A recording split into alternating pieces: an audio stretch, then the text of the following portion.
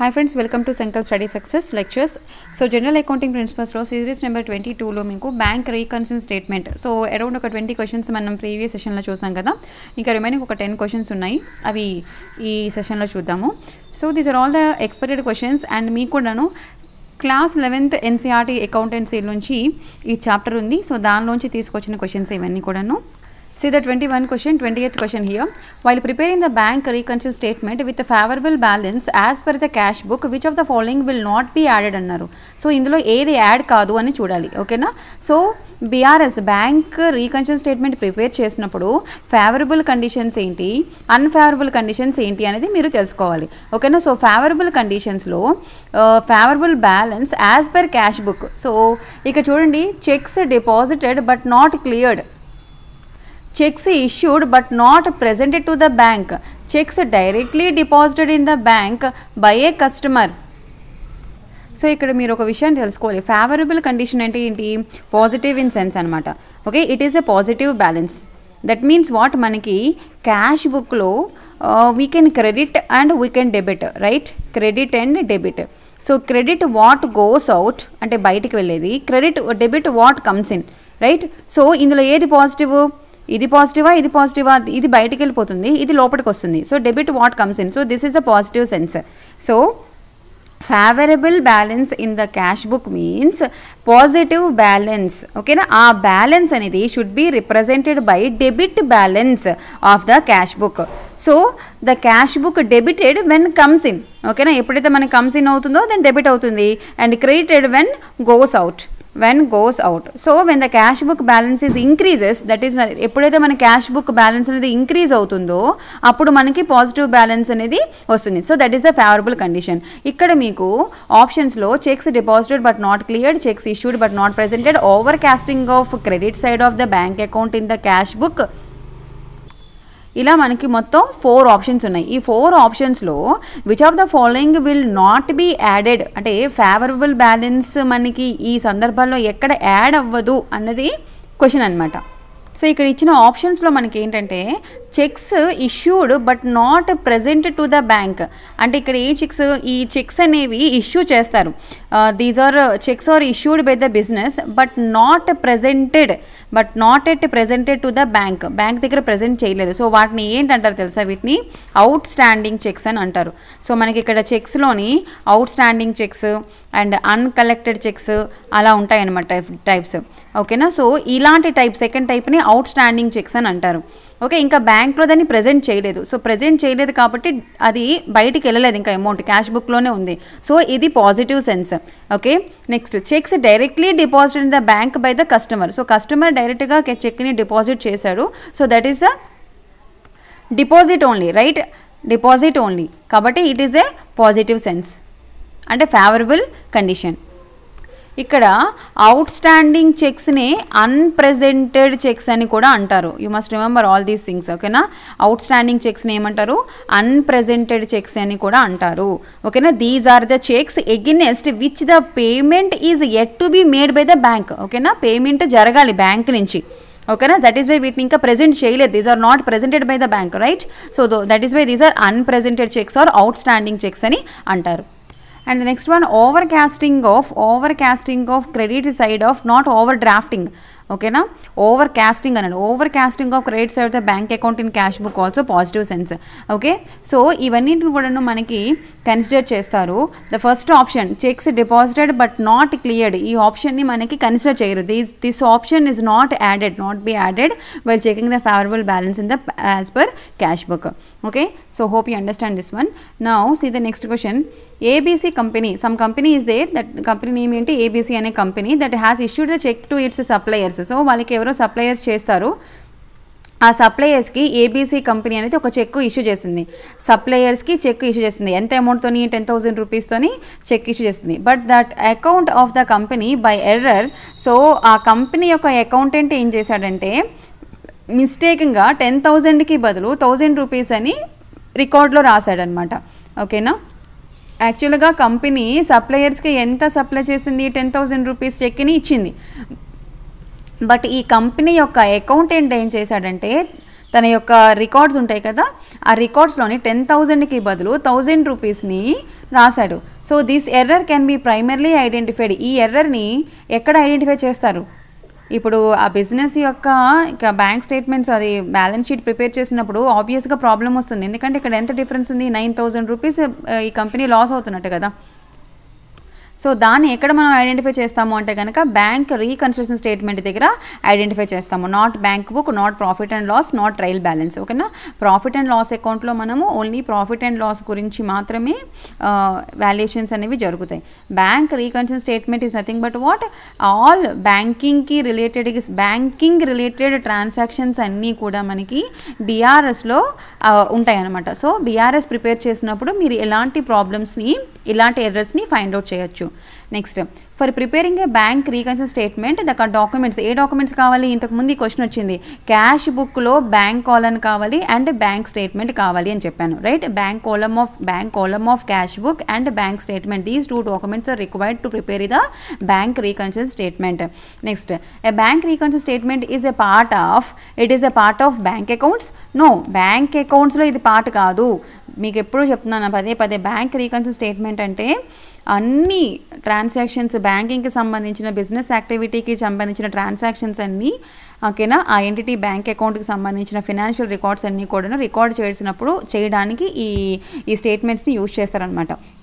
so it is not a part of bank account it is not a part of cash book అందులో ఇవన్నీ ఉంటాయి bank reconcile స్టేట్మెంట్స్లో we have the cash book passbook ఇవన్నీ then part of financial statement no none of the above ఓకేనా option is none of the above next ఇది next question when overdraft as per cash book so cash బుక్లో మనకి overdraft ఉంది అంటే by is a starting point then wrong debit in the passbook will be so ఇక్కడ ఏంటంటే మీరు cash book ఉంటుంది కదా సో క్యాష్ బుక్లో మీకు ఇంతకుముందు చెప్పాను డెబిట్ సైడ్ క్రెడిట్ సైడ్ ఓకేనా so debit when cash is added మన క్యాష్ బుక్లో యాడ్ అయినప్పుడు debit what comes in and cash book నుంచి బయటికి వెళ్ళినప్పుడు debit that credit what goes out అంటే రిడ్యూస్ అయినప్పుడు క్యాష్ రిడ్యూస్ అయినప్పుడు క్రెడిట్ బ్యాలెన్స్ చూపిస్తాము క్యాష్ ఇంక్రీజ్ అయినప్పుడు మనం ఏం చూపిస్తాము డెబిట్ బ్యాలెన్స్ చూపిస్తాము సో క్యాష్ బుక్ ఇప్పుడు మనకి ఓవర్ డ్రాఫ్ట్ ఉంది overdraft as per cash book that means what which makes the cash book balance larger than the passbook balance okay so అప్పుడు ఏం చేయాలి మనము టాలీ చేయడానికి we should be added not subtracted okay మనకి cash బుక్లో ఓవర్ డ్రాఫ్ట్లో అదే ఓవర్ డ్రాఫ్ట్ ఎక్కువగా ఉండేటప్పుడు ఏం జరుగుతుందంటే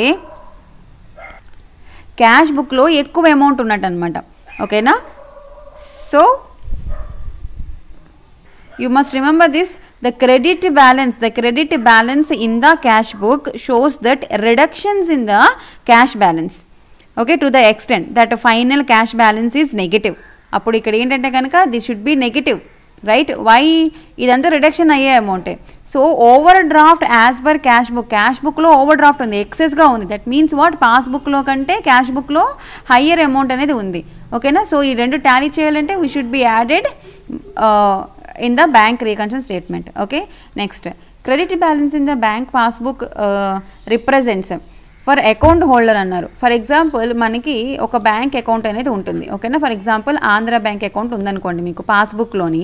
క్రెడిట్ బ్యాలెన్స్ సో మనకి మీరు ఎప్పుడైనా సరే డిపాజిట్ చేసినప్పుడు క్రెడిట్ బ్యాలెన్స్ చూపిస్తారు విత్డ్రా చేసినప్పుడు డిఆర్ చూపిస్తారు రైట్ ఈ గుర్తున్నాయా సిఆర్ డిఆర్ ఇలా ఉంటుందన్నమాట మీరు credit thousand rupees కలిసిందంటే credit thousand rupees debit five hundred rupees so ఇలా చూపిస్తారనమాట so credit balance in the bank passbook so ఒక పర్టికులర్ వ్యక్తి యొక్క పాస్బుక్లో క్రెడిట్ బ్యాలెన్స్ అనేది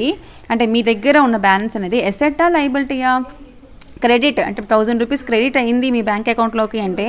మీ అకౌంట్లోకి మనీ వచ్చాయి right it is a what asset ఓకేనా it is not liability provision reserves కాదు ఓకేనా so simple question this one అదే డెబిట్ అనుకోండి తీసేసాను తీసేసినవి it is not your asset next unpresented cheques are ఇక్కడ ఏంటంటే కనుక అన్ప్రెజెంటెడ్ చెక్స్ అన్ప్రెజెంటెడ్ చెక్స్ అంటే ఇంతకుముందే చెప్పాను అవుట్ స్టాండింగ్ చెక్స్ని ఏమంటారు అన్ప్రెజెంటెడ్ చెక్స్ అని అంటారు ఓకేనా సింప్లీ ఇక్కడ ఏంటంటే కనుక cheque has been return and accounted for but it is not yet been paid out by the bank ఓకేనా చెక్ డిపాజిట్ అవుతుంది చెక్ డిపాజిట్ అవుతుంది బట్ బ్యాంక్ వాళ్ళు ఇంకా దాన్ని పే చేయరు bank does not paid out okay paid out by the bank దాన్ని ఏమంటారు out standing check లేదా అంటే బ్యాంక్ ఇక్కడ ప్రజెంట్ చేయట్లేదు ఆ చెక్ని బ్యాంక్ ప్రజెంట్ చేయట్లేదు కాబట్టి this is what unpresented cheque so you must remember this is the expected question unpresented cheques are nothing but what outstanding cheques అని అంటారు ఓకేనా సో మీరు ఇక్కడ కన్ఫ్యూజ్ కావద్దు అన్ప్రెజెంటెడ్ చెక్స్కి అన్కలెక్టెడ్ చెక్స్కి ఓకేనా అవుట్ స్టాండింగ్ చెక్స్కి డిఫ్ ఏంటి ప్రాబ్లం కన్ఫ్యూజ్ కావద్దు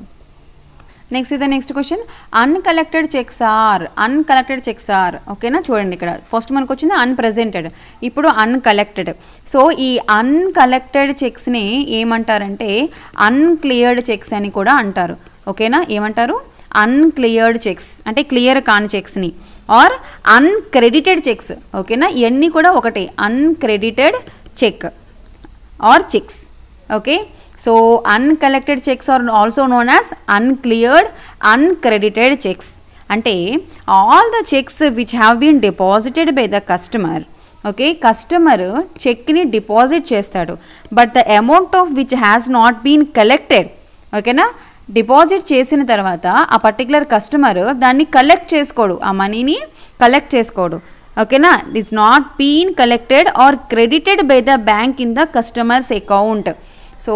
for example మీరు ఉన్నారండి మీరు ఎస్బీఐ బ్యాంక్కి వెళ్ళారు ten thousand rupees cheque deposit చేశారు డిపాజిట్ చేసిన తర్వాత మీ అకౌంట్లోని టెన్ థౌజండ్ రూపీస్ బ్యాంక్ వేయాలి right SBI should deposit this ten thousand rupees into your bank account okay so మీరు డిపాజిట్ చేసిన తర్వాత ఇంకా బ్యాంక్ క్లియర్ చేయలేదు మీ దానిలో ఇంకా వేయలేదన్నమాట సో దాన్ని ఏమంటారు this means what the amount of which has not been collected or credited by the bank in the customer's account okay it is not credited by the bank account in the customer's account okay till the date on which the bank statement is issued these are called nothing but what uncleared checks are uncredited ఇంకా credit కాని చెక్స్ని uncredited or uncollected cheques అని అంటారు ఓకేనా so what is the condition ఇక్కడ cheques deposit by the customer but not credited by the bank cheques issued issue అయింది but does not present ఇదేంటి outstanding cheque ఓకేనా cheque issue అయింది but that is not presented by the bank is nothing but outstanding cheque or unpresented cheque okay but first case cheque deposit చేశాడు customer but customer అకౌంట్లో ఇంకా credit కాలేదు that is not credited by the bank is nothing but what uncollected or cleared or uncredited cheques అంటారు okay next Bank reconciliation statement is not it is a reconcile records, and we can compare the cash book and passbook with the help of BRS. Okay, it is not a ledger account. Okay, na bank reconciliation statement is not a ledger account. And see here. Next, when balance as per the cash book is the starting point, uncollected checks means what? When balance as per cash book, cash book lo andi as per cash book uncollected cheques uncollected cheques అంటే ఏం చెప్పాను మీకు customer deposit చేస్తాడు but bank ఇంకా ఏంటి deposit చేయలేదు customer అకౌంట్లో deposit చేయలేదు వాటిని అన్కలెక్టెడ్ చెక్స్ అని అంటారు or uncredited cheques so cash బుక్లో ఏమవుతుంది ఈ చెక్స్ ఖచ్చితంగా it should be subtracted bank deposit చేసినప్పుడు బ్యాంక్ డిపాజిట్ చేసినప్పుడు కస్టమర్ అకౌంట్లో డిపాజిట్ చేసినప్పుడు క్యాష్ బుక్లోంచి మనీ సబ్ట్రాక్ట్ అవ్వాలి okay so when balance as per the cash book starting point uncollected cheques are subtracted in the bank reconciliation statement not added okay because that is the responsibility of the bank customer deposit చేశాడు in the bank but the bank is not cleared okay but the బ్యా here the amount is not credited in the bank account okay next one when drawing up of brs uh, bank reconciliation statement if you start with the debit balance see here not credit balance debit balance as per bank statement the following are subtracted so ఇందులో ఏ situations subtracted ఏ situations edition అనేది మీరు చూసుకోవాలి cheques issued but not presented to the bank cheque issue చేశారు కానీ అది ఇంకా ప్రజెంట్ చేయలేదు it should be added or it should be subtracted so ఇక్కడ ఏంటంటే కనుక చెక్స్ని ఇష్యూ చేశారు బట్ బ్యాంక్ ఇక్కడ ప్రజెంట్ చేయలేదు కాబట్టి వీటిని అవుట్ స్టాండింగ్ చెక్స్ లేదా అన్ప్రజెంటెడ్ చెక్స్ అని అంటారు రైట్ సో అప్పుడు క్యాష్ బుక్లోని మనీ అనేది ఎక్కువ ఉంటుంది తక్కువ ఉంటుందా హైగా ఉంటుంది when compare to the passbook cash బుక్లో మనీ ఎక్కువగా ఉంటుంది ఎందుకంటే ఇంకా అవుట్ స్టాండింగ్ చెక్స్ అనేవి ఉన్నాయి రైట్ అయితే ఇక్కడ ఏంటన్నారు debited balance as per bank statement means passbook so passbook debit బ్యాలెన్స్లో ఎటువైపు చూపిస్తాము